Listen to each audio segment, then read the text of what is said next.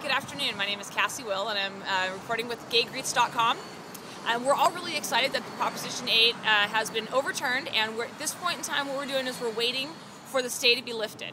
There's been a stay put on so that gay marriages actually cannot be performed quite yet. Um, but we just talked to the courthouse, and they were talking about the fact that they've been getting a lot of phone calls from people that weren't aware of that, and people are ready to go. They've got their cakes, they've got their dresses, they've got their tuxedos, whatever it is. Family is on alert. Everyone here in California is very excited when they open the floodgates. There's going to be, uh, you know, everyone that's been waiting for this moment is going to be getting married. And um, we're very excited about that. We expect the stay to be lifted sooner than later. And uh, when that stay is lifted, we are going to be at the courthouse in San Francisco, and we're going to be there streaming live for all of the excitement and amazing things that are happening uh, with gay marriage being being legal in California. So, um, stay tuned.